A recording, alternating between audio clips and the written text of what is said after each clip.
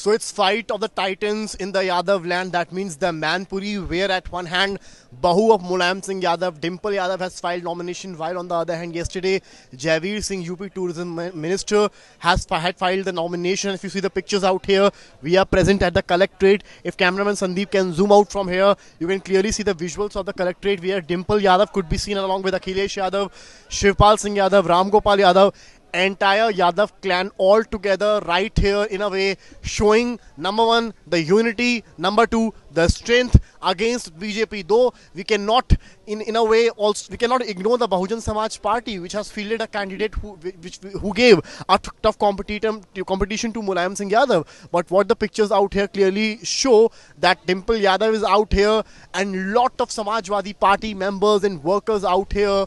And we have showed you the pictures of Dimple Yadav for, in a way filing nomination. Though at one hand BJP is claiming that you can win one election that you can win one election in the name of Mulayam Singh Yadav's sympathy, but not every time this sympathy vote will come to your favor. While on the other hand, Akhilesh and Dimple are saying that BJP hasn't done anything for Mainpuri and Samajwadi Party is going to regain this seat of Mainpuri in the coming Lok Sabha elections 2024. With cameraman Sandeep Dubey, Samarth Srivastav for India Today.